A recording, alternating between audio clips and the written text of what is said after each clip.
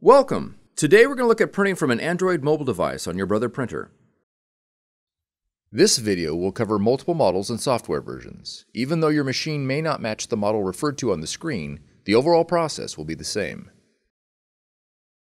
Before beginning, you'll need to make sure your Brother mobile printer is connected to a wireless network.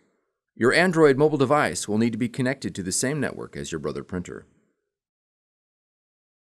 There are multiple methods of printing from your Android device. This video will cover printing with Mopria Print Service, Google Cloud Print, and the Brother iPrint and Scan app. First, we will look at Mopria Print Service and Google Cloud Print. To begin, go to the Play Store and download and install either Mopria or Cloud Print, whichever you prefer. Now open the application you wish to print from. In this example, we will use Google Chrome. Tap the three dot icon to reveal the option list. Next, tap Share.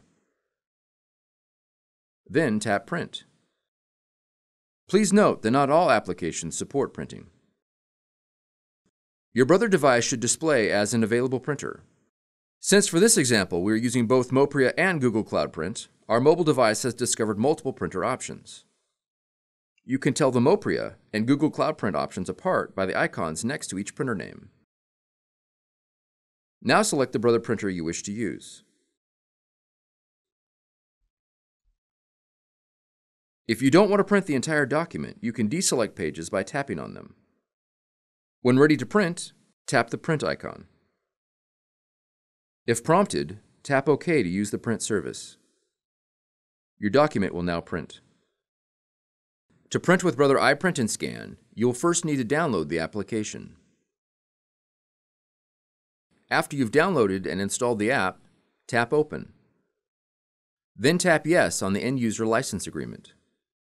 Before using iPrint and Scan, you'll need to select a compatible device. When prompted to select a device, choose Select Now or tap the blue banner at the bottom of the screen to search for a compatible printer.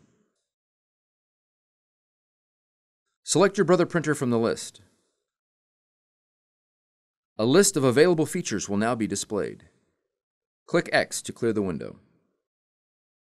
After your printer has been selected, tap Print.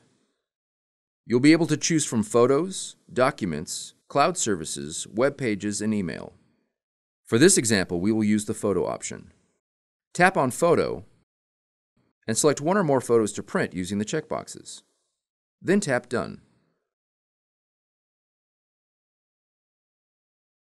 Now tap Print. Your photo will now print.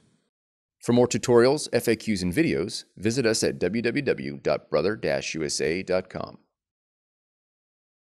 If you found this video helpful, be sure to subscribe. Thank you for choosing Brother.